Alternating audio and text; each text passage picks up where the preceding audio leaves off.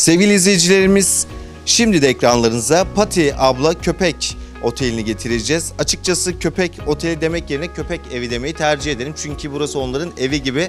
Derya Hanım sizler neler söyleyeceksiniz? Derya Ercan ben. E, Pati Abla Köpek Oteli'nin kurucusuyum.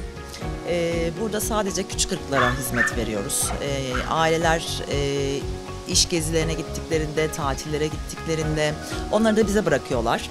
Onlar da burada tatil yapıyorlar. Burası onlar için 5 yıldızlı e, otel e, kıvamında neredeyse. Havuza girebiliyorlar. E, çimenlerde diğer arkadaşlarıyla koşabiliyorlar. E, burada tamamen özgürler. E, tamamen çok şahane bir tatil yapıyorlar.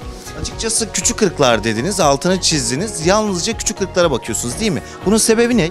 Bunun sebebi çünkü ırklarla küçük ırkların bir arada olmasını istemiyoruz. Çünkü biz açık e, ortamda bakıyoruz. Kafes ya da oda sisteminde bak, bakım yapmıyoruz. E, büyükler her ne kadar sosyal ve zararsız olsalar bile oynarlarken diğer küçük ırklara zarar verebiliyorlar istemeden de olsa. Onun için biz bunun ayrımını yaptık. E, küçük ırkları tercih ettik. Bize bir buçuk kiloluk köpek bile geliyor çünkü. E, çok ufak oluyorlar. E, çok hassas oluyorlar.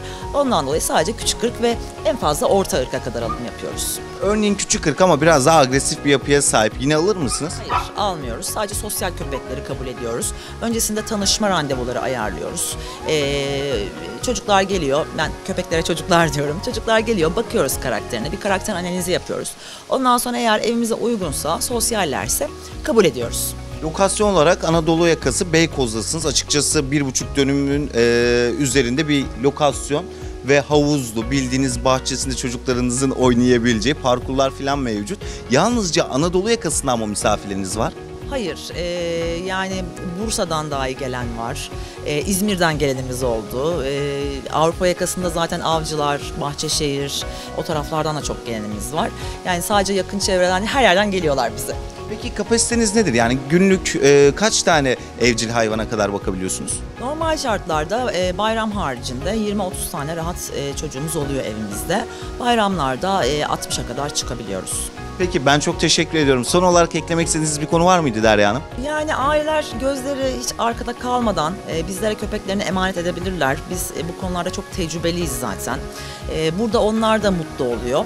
Yani onları insan gibi değil biraz daha hani e, köpek arkadaşlarıyla birlikte bırakmalarını çok çok fazla öneriyoruz. Yani korkmasınlar. E, onlar tatile giderken biz de e, köpekleriyle tatil yapıyoruz. Evet sevgili izleyicilerimiz böylelikle Pati Abla Köpek Evi ile e, gerçekleştirdiğimiz bu keyifli sohbetin sonuna geldik. Bakalım sıradaki durağımız neresi? Hoşçakalın.